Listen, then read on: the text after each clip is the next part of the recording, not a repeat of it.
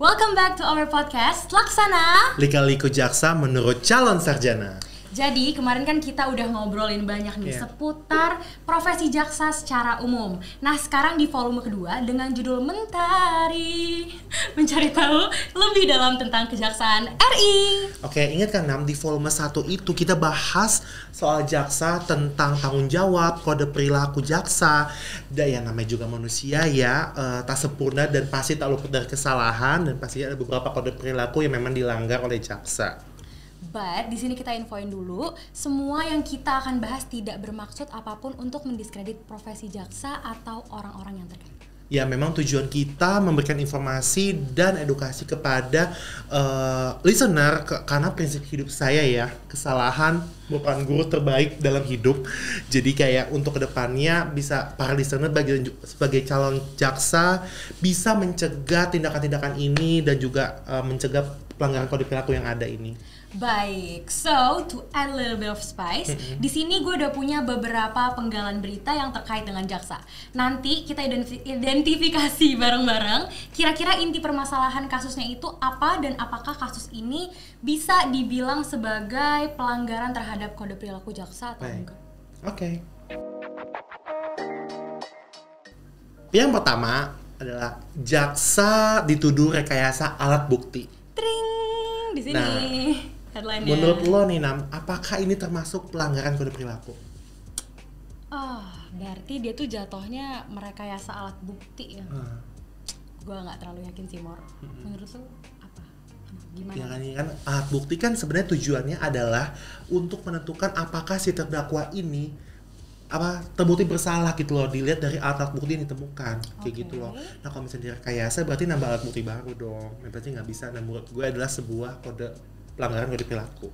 oke berarti kalau bisa gue simpulin itu kan pelanggaran. Atau mungkin coba kita cari juga di sini Mor. Ya. Em, berdasarkan kode perilaku jaksa coba kita lihat. Oh pasal 7 ayat 1 huruf H. Ya. jaksa dilarang merekayasa alat bukti. Berarti jelas. Berarti jelas kalau ini adalah pelanggaran. Next headline yang kedua ya. Coba gue bacain dan munculin di sini. Ting Kejati Jabar siap tindak oknum jaksa yang intimidasi kades berkasus menurut lo gimana termasuk pelanggaran atau enggak Nggak tahu deh. Jujur. coba dulu jawab menurut lo gimana Kayaknya iya. Kayaknya iya nggak tahu. Iya. Ya. Gimana? ya jatuhnya kan jaksa yang mengintimidasi kalau menurut gue juga iya coba kita cek lagi Iya. Oh, pasalnya deket nih. Pasal 7 juga, ayat 1 juga huruf G. Dinyatakan secara jelas bahwa jaksa dilarang mengintimidasi. Iya benar sih. Berarti ini adalah Pelanggaran. Question ketiga. Ting. Oto emosi Jessica dituduh bohong oleh jaksa Shandi. Nah, menurut lu, Nam, apakah ini sebuah pelanggaran kode perilaku? Berarti jaksa menuduh terdakwa berbohong. Gitu ya? Iya. ya? heeh. Gue gak yakin. Kalau menurut gue sih ini bukan pelanggaran terhadap em, kode perilaku. Benar banget sih. Emang ini bukan pelanggaran kode perilaku. Karena apa ya? Kenapa? Kenapa? Ini kan sebenarnya jaksa memang eh, untuk menemukan kebenaran di dalam persidangan ya, yang di mana Mm-hmm. terdakwa bisa membela dirinya ya, ya bagaimana bisa kan suka berbohong kayak gitu loh. Jadi kayak menurut gue sih ini kayak taktik jaksa aja untuk eh, dia bertanya gitu Oh loh sebenarnya. iya sih.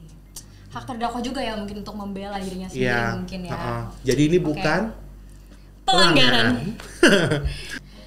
Next, headline keempat. Ting, jaksa ini malah tidur pulas dalam sidang kasus Angelin. Gimana menurut lo? Ini tidur ya. Enggak maksud gue gini.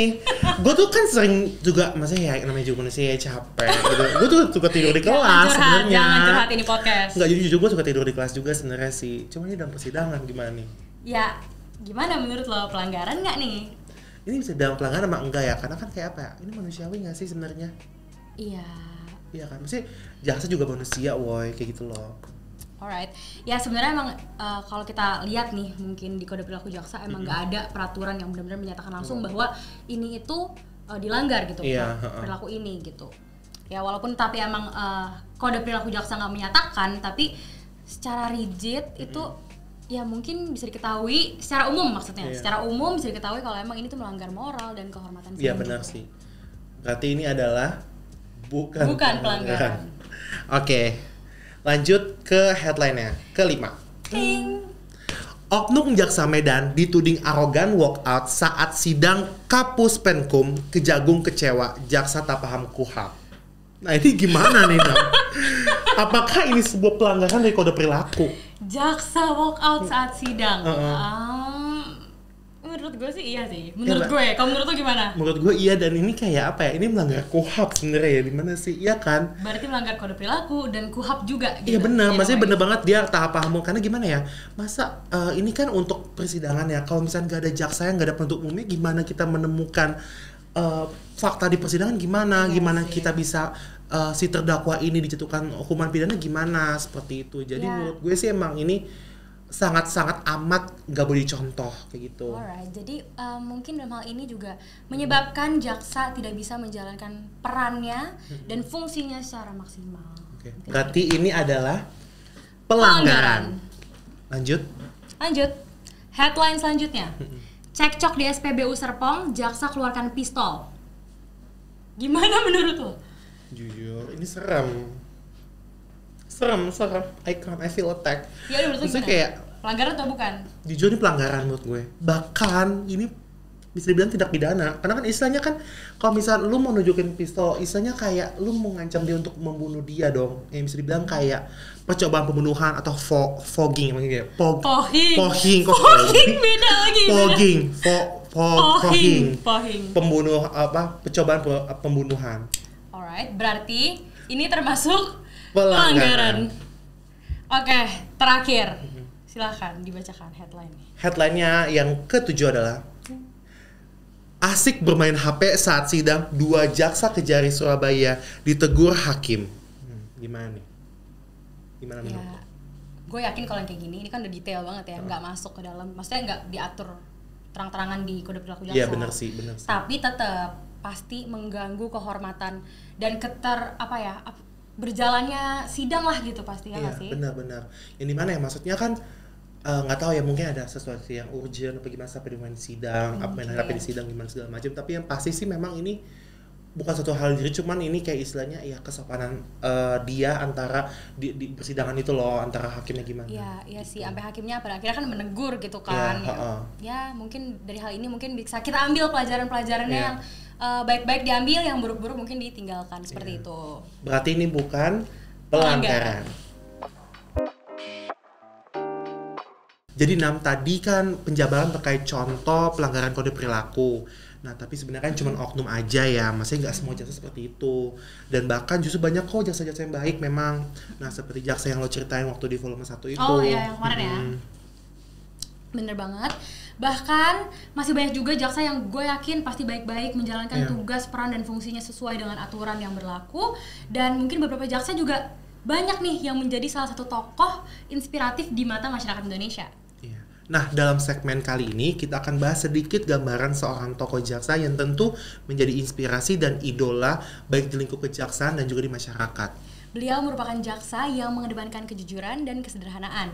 Selain itu, beliau dikenal sebagai jaksa yang hampir tidak punya rasa takut kecuali kepada Allah Subhanahu wa taala dan berani melawan arus kebobrokan serta pengaruh kapitalisme dan liberalisme dalam hukum.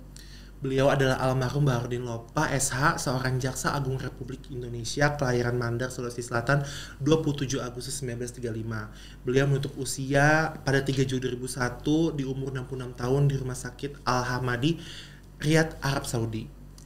Sosok Baharudin Lopa merupakan panutan dan menjadi contoh dalam penegakan hukum serta keadilan. Semasa hidupnya, Baharudin Lopa merintis karir dari bawah hingga menjadi jaksa agung.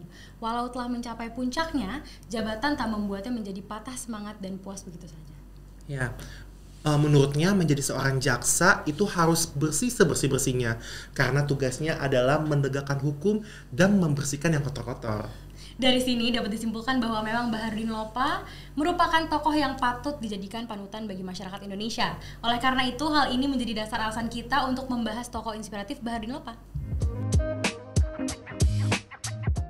Nah, harapan kita dengan mengangkat topik ini, seseorang yang ingin menjadi jaksa dapat mengambil pelajaran baik dari beliau. Sehingga nantinya akan melahirkan bibit-bibit baru jaksa yang berperilaku seperti almarhum Baharudin Lopa.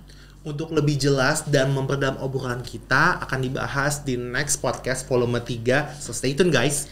karena akan dibahas lebih mendalam berdasarkan realita kehidupan serta kasus yang pernah ditangani oleh Bapak Bahri Lopa. Pokoknya pasti nggak akan kalah menarik dari episode 2 podcast Laksana ini. Ya betul banget. Last but not least, mohon maaf uh, kalau pembahasan kita sebelumnya ada yang menyinggung uh, pihak-pihak tertentu dan kami tekan sekali lagi podcast ini untuk educational purposes. Thank you so much for watching and have a great time. Laksana. Lika-liku jaksa menurut calon, Calon sarjana. sarjana. Bye bye.